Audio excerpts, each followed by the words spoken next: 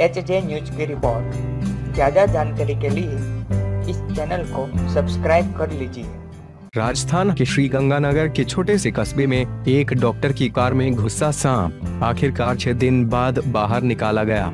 बता दें कि कस्बे के एक चिकित्सक की फार्म हाउस में खड़ी कार में एक काले रंग का सांप घुस गया था।